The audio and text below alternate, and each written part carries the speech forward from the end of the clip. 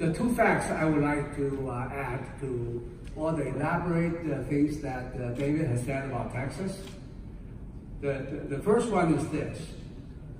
All Caucasians in Texas can speak Chinese, as evidenced by David.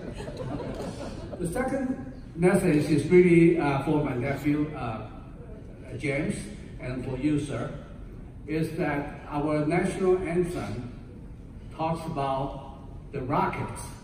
They never mention the Golden State Warriors.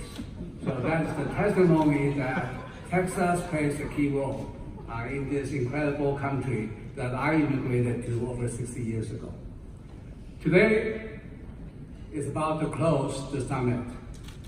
The implication here is that we can make this summit a blessing not only to U.S., and to China.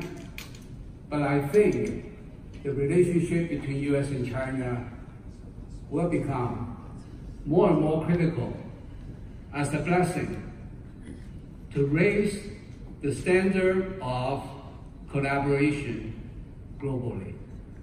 I'm very proud to say that my big sister well, really is a Fan Li Foundation so she has the D in the middle uh, for the Chinese word. So I take credit for that. So uh, thank you for coming. And uh, we uh, have two great countries.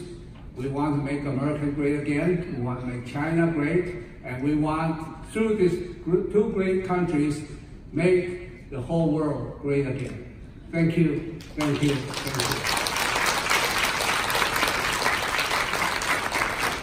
Texans, we want to go out and enjoy the California weather. So this is the closing of this great summit. Thank you.